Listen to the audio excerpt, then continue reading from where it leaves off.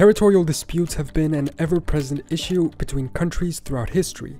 After all, it's how our modern borders were mostly established by conflicts taking place over those disputed areas, with one side winning and taking control of it. Violent border disputes are mostly a thing of the past, although they do still exist today, as we'll see ahead on the list of examples for this video. But regular diplomatic disputes exist all over the place. Some are pointless and have been ignored by the two sides like Portugal disputing Olivença with Spain, but others remain a topic of heated discussion between neighbors, leading to military disputes and having the potential of escalating to full-out wars, although definitely not for all the examples on this list.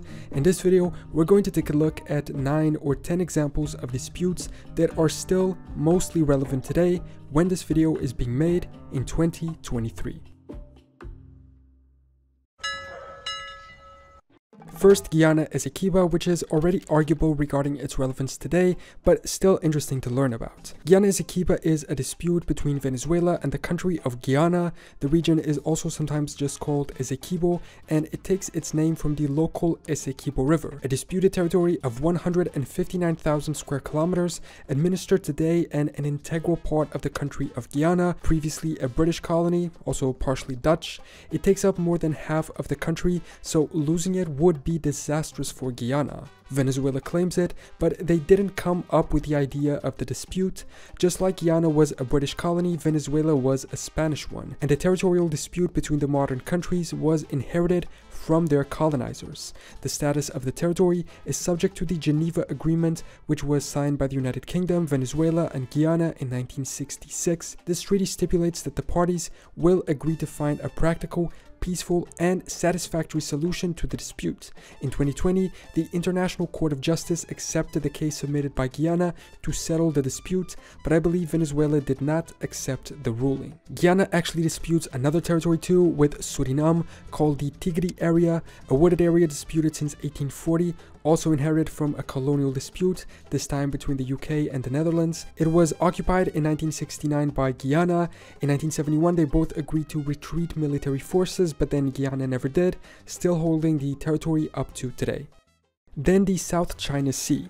Arguably the most important example on this list, territorial disputes in the region involve conflicting island and maritime claims by several countries, Brunei, China, Taiwan, Indonesia, Malaysia, Philippines, and Vietnam. An estimated $3 trillion worth of global trade passes through the South China Sea every year, which accounts for a third of the global maritime trade total. 80% of China's energy imports and 40% of their total trade also pass through it, so you can understand why controlling it is important. There's also the issue of fishing rights and the exploration of crude oil and natural gas. The map of the sea area is very chaotic, with tiny islands being claimed, while other artificial ones are being built, mostly by China, and there are several outposts, many of which military, established there by China, Malaysia, Vietnam, and the Philippines. This chart shows us a summary of the eight main disputed areas and which countries claim each of them. The dispute's origin can be traced to 1932 when France claimed the Spratly Islands with the objection of China and Japan. In the 21st century, Vietnam, the Philippines, and then China began building artificial islands to extend and justify their claims on territorial waters. This issue remains unresolved until today and is seen as one of the biggest geopolitical issues in the world. Before we keep going, I want to take a minute to thank the sponsor that made this video possible, Curiosity Stream. Curiosity Stream is a great, one-of-a-kind streaming service, and they have documentaries, films, and shows that you can't find anywhere else. I've been watching this really cool series called Bastions of Power, where they get into what life was like inside medieval European castles. Castles are so iconic for medieval times, but often we don't really know what life was like in them at the time. But if this one doesn't pique your interest, they have new content content added every week across many categories like history, science, nature, technology, or even music and food. There's really something for everyone in there. Their service is available on a ton of platforms TV, computer, your phone, and the best part is that it's considerably cheaper than other streaming services. Go to curiositystream.com slash general knowledge or scan the QR code for unlimited access to the world's top documentaries and non-fiction series. And for my fans, use the promo code General Knowledge and you will save 25%. So click the link in the description or go to curiositystream.com slash general knowledge and try out their service today. Next is a very well-known dispute that seems to last forever, Kashmir. The Kashmir region is a subject of dispute between India, Pakistan, and also partially China. The issue has some colonial roots too, as before Indian and Pakistani independence, the whole territory was united in the princely state of Jammu and Kashmir, part of the British Raj. It led to three wars between India and Pakistan and several border skirmishes. India controls approximately 55% of the land and 70% of its population. Pakistan controls about 30% of it, and China the remaining 15%, mostly uninhabited. I believe China and Pakistan have reached an agreement to recognize each of their claims, correct me if I'm wrong, so now the dispute is just between India and the other two. India bases its claims on the fact that the ruler of the princely state signed a document to join the dominion of India. Pakistan claims they should rule it due to its Muslim majority population, and China, I honestly have no idea why they claim it. The dispute continues today and doesn't show any sign of going away anytime soon. Still in Asia, to the north, we have the Batken region.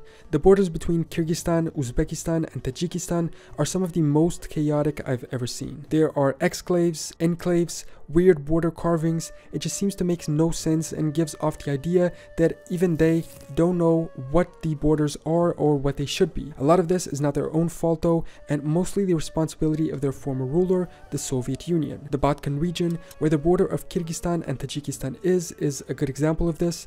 The border between them is 970 kilometers long, but only 503 kilometers have been agreed upon. Batken is ruled by Kyrgyzstan, but has Tajik and Uzbek enclaves within it, and all of these three countries dispute the territories. The Fergana Valley is another example of these disputes. It's just a mess of borders, and I can't even understand half of them by looking at the available maps. I doubt this will ever escalate to a full military conflict, but I don't know when they will be able to resolve it. Moving to two regions highly involved in conflict though, we first have the Golan Heights. The Golan Heights have historically always been a part of Syria. In the 16th century, it was conquered by the Ottomans and administered through the Syria Vilayet.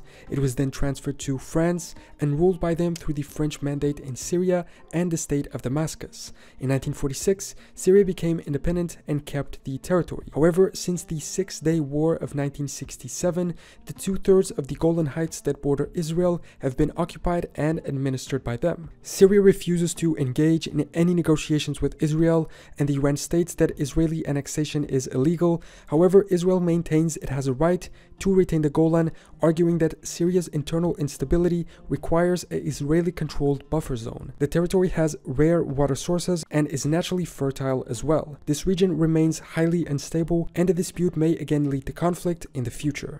A similarly volatile situation exists to the north in Nagorno-Karabakh. The region is inside Azerbaijan but is mostly populated by Armenians. The two countries have several exclaves, some of which have been occupied since by each other precisely due to this specific dispute. The Nagorno-Karabakh region is claimed and partially controlled by the breakaway republic of Artsakh, but is recognized internationally as part of Azerbaijan.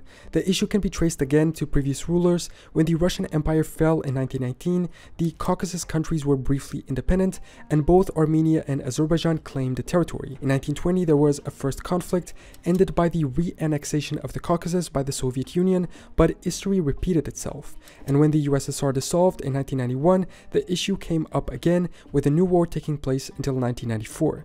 The population of the self-proclaimed republic is 99% Armenian, but their connection to Armenia itself is limited to a 5 kilometer corridor, and almost all their territory is under the control of Russian peacekeeping forces. The conflict resurfaces every now and then, it did in 2016 and then again in 2020. I doubt this issue will ever see a solution, and conflicts will keep coming up every now and then. Next are the Kuria Muria Islands, a group of five islands in the Arabian Sea, 40 kilometers off the southeastern coast of Oman. They were ruled by the Sultanate of Oman for a long time until 1854, then the Sultan gifted them to British Queen Victoria. In 1886, the islands were attached administratively to the British Aden Protectorate in modern-day Yemen.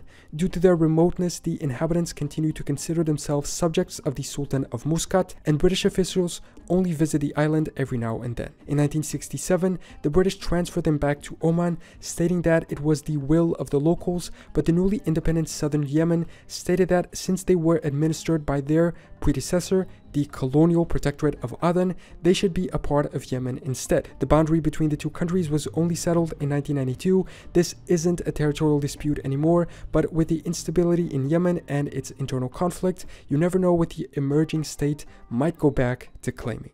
Another set of disputed islands are the Chagos Archipelago. They are located south of the Maldives in the Indian Ocean, ruled as the British Indian Ocean Territory, part of the United Kingdom, but claimed by the country of Mauritius even though they're pretty far away from it. The argument was that Chagos was a part of the same colonial administration as Mauritius and that the British divided them prior to granting Mauritius independence in order to keep them. Mauritius claims this is a violation of United Nations resolutions banning the dismemberment of colonial territories before independence. The UK government disagrees, but has also stated that the Chagos will be returned to Mauritius once the islands are no longer required for military purposes. In 2022, the British decided to begin negotiations for this transfer, and it seems there will be a peaceful resolution for the issue sometime soon.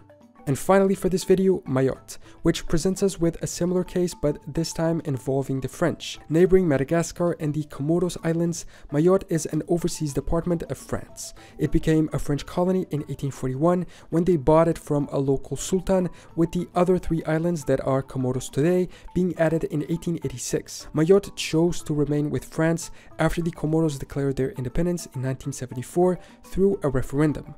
However, the Comoros still claim them as their territory due to the fact that they are a part of their archipelago and they highly criticize the presence of a French military base in the region, reinforcing this claim as late as 2022. France states that it has no problem with transferring back the islands should that be the will of its people, and in 2009, a huge majority of 95% voted to be further incorporated as a French territory, reinforcing the similar majority that refused independence in 1974. Contrary to Chagos, it doesn't seem like this one will be solved anytime soon unless the locals choose to change their mind and join the Comoros or the Comoros themselves give up their claim. So, those are a few of the relevant territorial disputes that still exist in 2023. Some basically non-existing anymore, some existing but on the path to resolution, and others being nowhere near being solved, some even constantly on the brink of military conflict. What do you think about these disputed territories? Which side do you think is right in each case, and which other relevant territorial disputes still exist today? Let me know in the comments. Thanks so much for watching this video, subscribe if you want, and I will see you next time for more general knowledge.